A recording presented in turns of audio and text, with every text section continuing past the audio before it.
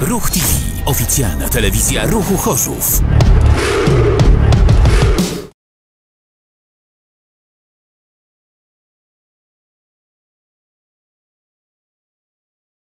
Ciśnie się parę, parę uwag na pewno, że z jednej strony na pewno podziękowania za, dla, dla zawodników moich za, za ambicje i za to, że potrafiliśmy naprawdę ten mecz, który nam bardzo, bardzo się nie układał,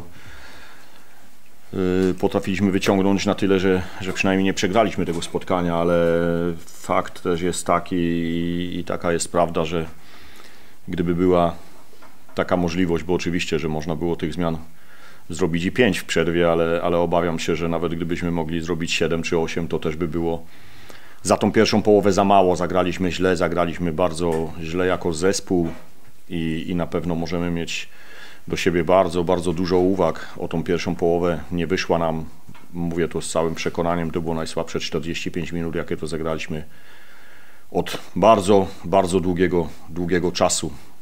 Także remis przyjmujemy z pokorą, chociaż do końca później walczyliśmy o to zdobyć, o zdobycie tej drugiej bramki, narażając się też być może na, na kontrataki Resowi. Druga połowa wyglądała już lepiej. Remis trzeba przyjąć. Dziękuję. Dziękuję bardzo. Panowie pytania do trenera? Maciej Dycowski, PDK Live. Y, Panie trenerze, czy zgodzi się Pan ze stwierdzeniem, że wyglądaliście gorzej motorycznie od nawet grających dziesiątkę Resowi i z czego to wynikało? E, rozumiem, że chodzi o drugą połowę? Mm, Nie ogól, ogólnie o cały mecz. Ale ja mówię, my pierwszą połowę zaczęliśmy tak jakby, nie wiem, fatalnie gdzieś byliśmy ospali, byliśmy mm, spowolnieni w każdej praktycznie sytuacji, nie było w nas agresji, nie było y, agresji przede wszystkim w pojedynkach jeden na jeden, to, to gdzieś tam nie funkcjonowało, ta druga połowa już była zupełnie, zupełnie inna, wyszliśmy na nią y, z innym, z innym nastawieniem i, i kilka sytuacji, myślę, bardzo dobrych. Pindro gdzieś tam wybronił, y, myślę w takich prawie jakichś tam stuprocentowych nawet można powiedzieć, bo to co miał Moneta to na pewno do takich już, już e, należało, także tu na pewno ta druga połowa, no myśmy cały czas e, grali, cały czas graliśmy na połowie przeciwnika, to też kosztuje, kosztuje mnóstwo sił, cały czas e, graliśmy wysokim pressingiem, doskakiwaliśmy, to, że narażaliśmy się na kontry, to normalna sytuacja, ryzykowaliśmy, chcieliśmy to spotkanie wygrać.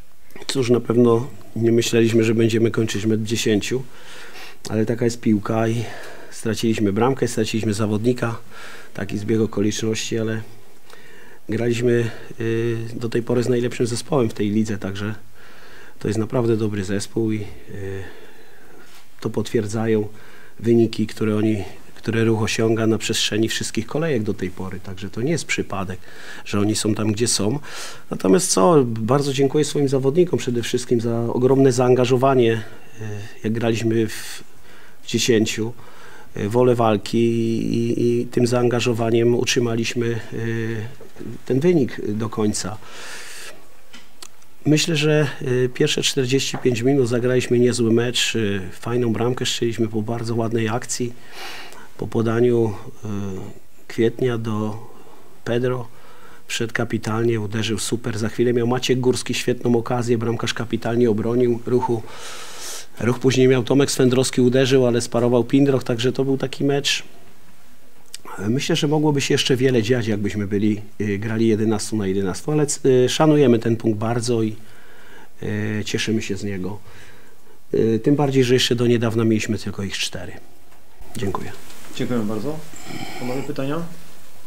Maciej Dycowski, podkreślacie Live. Trenerze, gratulacje za, za remis z liderem, mam taką, mm, takie przemyślenie, że troszkę się powtórzył schemat sprzed tygodnia. Po wspaniałej pierwszej połowie wychodzicie troszkę ospali na drugą połowę. Jaki, jaka jest tego przyczyna? Bo, bo, ta, bo y, czerwona kartka i Wie pan co? Powiem panu, że nie wiem. nie wiem, jaka jest tego przyczyna.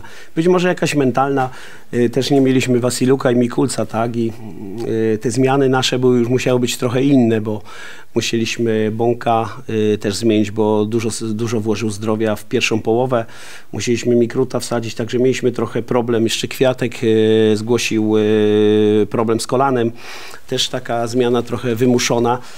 Ale y, tak jak mówię, my do niedawna jeszcze, zespół jeszcze do niedawna sytuacji nie stwarzał, a dzisiaj ich trochę tworzymy nawet i mamy tam jakieś, może nie w dzisiejszym meczu aż tak, ale myślę, że jak będziemy punktować do końca rundy, to y, ten zespół jeszcze będzie grał lepiej i na pewno to, co Pan mówi, to jest y, słuszna uwaga i zrobimy wszystko, żeby te, jeżeli miałyby być takie fragmenty słabszej dyspozycji po przerwie, żeby one były jak najkrótsze, aż może zminimalizujemy je do zera. Czy jeszcze jakieś pytania? Proszę bardzo.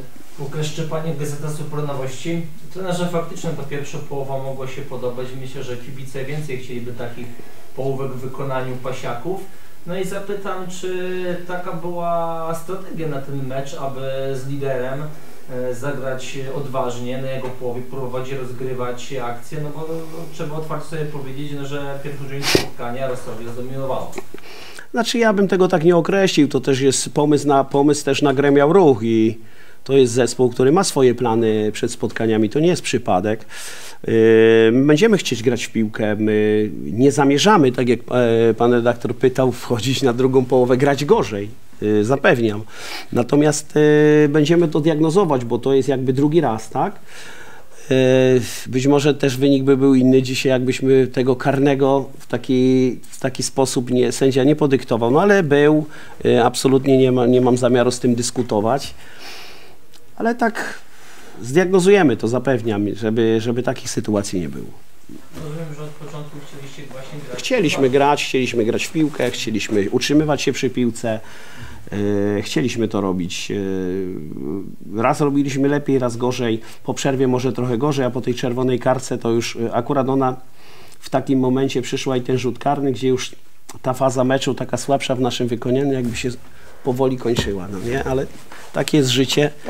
Tego nie zmienimy i, i, i na pewno y, będziemy, tak jak powiedziałem, y, myśleć nad tym, żeby tak to nie wyglądało. Dziękuję bardzo. Socha Radio Rzeszów, jeszcze jedno pytanko. Co Pan sądzi o instytucji WAR, której dawno temu, lata temu nie było, a teraz Wie pan, to jest, y, to ma pomagać na pewno, y, nie powinno szkodzić. Nadal mam wątpliwości co do jednej sytuacji, do interpretacji rąk, tak? Bo y, w- niektórzy sędziowie interpretują w taki sposób, a niektórzy w, inni, w inny sposób. I teraz y, myślę, że jakby to było jednoznacznie określone bardziej, to y, nie byłoby z tym takich problemów. I tak jak mówię, no, gdzieś tam było dotknięcie, gdzieś ręce, ręce były w górze, skoro sędzia widział, y, jeżeli ten war pomógł ruchowi, a zasłużenie mu pomógł w tym momencie, bo była na przykład ręka, to jest okej, nie?